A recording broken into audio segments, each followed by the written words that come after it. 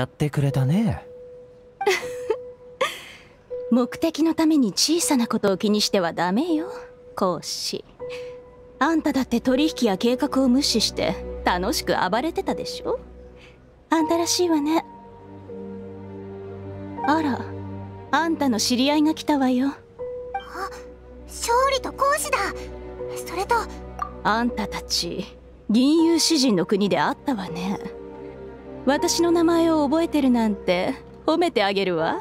まあ大切なものを奪われる友人をただ見てることしかできなかったわけだし忘れるわけないわね。いや黄金屋での戦いは実に楽しかったね。はんお前がファリューの執行官だって知った時からお前を信用すべまあまあ。確かに俺は君たちを少しまあ最後はちょっと本気でやり合ったけど立場が違うから君のことを根に持ったりはしない。もちろん君たちが俺を憎んでも俺は構わないよ。むしろ勝利先生と淑女の方こそよくも俺を騙してくれたね。それは。今はそれよりも早く任務を続行するのよ。約束通りあんたの神の心を取りに来たわよ。モラクス。何の話だ？契約は成立した。何時に渡そう。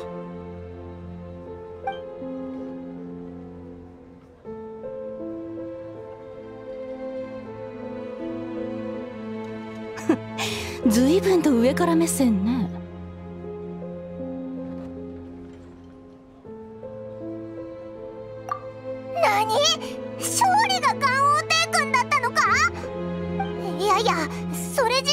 っくりだけどな、なんで、なんで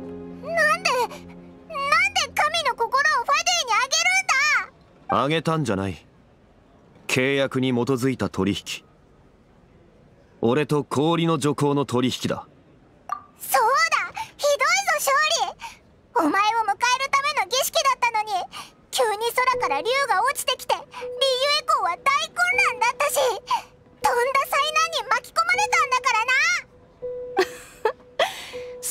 下の暗流を集めて極限になるまで圧をかけて爆発させる。まさに彼が望んだものでしょ？俺が説明しよう。知っての通り俺は6000年以上生きてきた。仙人たちと共にリーウェイを作ったのは3700年前のことだ。渦でうがつことのできない岩もしかしある日その時。神の座を降りると考え始め神と共にある。だから偽りの死を計画し講師仙人。リーウェ七その通り。だつまりもし取り返しがつかないことにな当然よ。それくらい彼にとってはお茶の子さいさいだもの。まさに親を失った子が急成長するかのように。このリーユエも神の死によって成長したのよ。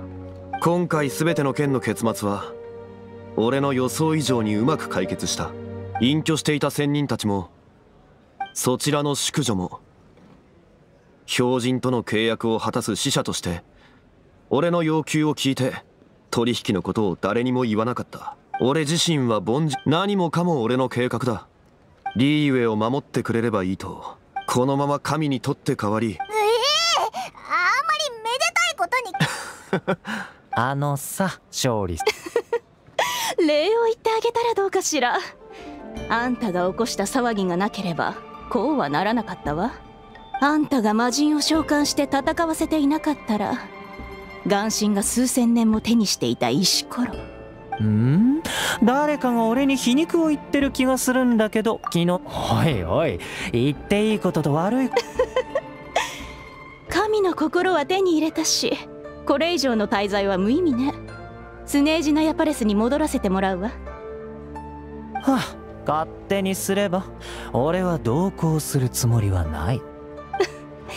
勝手になさい。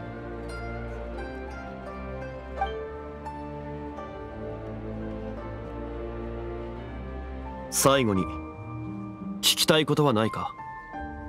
ふむ普通に考えたらだが俺は契約の神。数千年間俺は幾千万の契約を交わした。標人との取引はかの氷の女工がお前自身の手で